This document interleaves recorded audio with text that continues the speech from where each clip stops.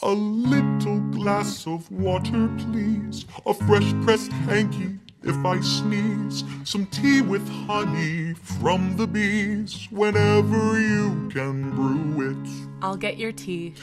And while I get a little rest, a teeny tiny small request some codfish oil for my chest, poured from a crystal cruet. A crystal cruet?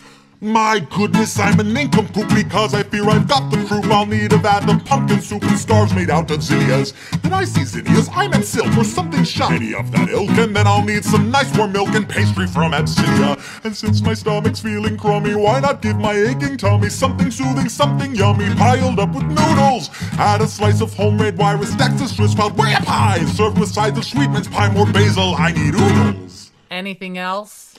I'll be grateful for your charity until the bitter end. Because I've heard that tenderness is what you lend an ailing friend. Tenderness, isn't that right, friend? Right. But. So, who's ready for my big reprise?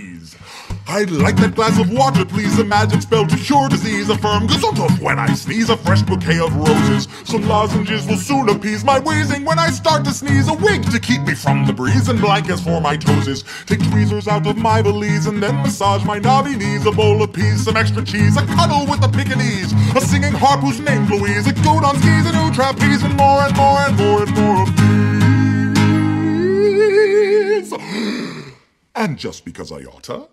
Make sure I'm drinking in the right amount of fluids day and night. I wish I may, I wish I might have just one little thing. Oh, will you please finally bring me that tiny glass of water?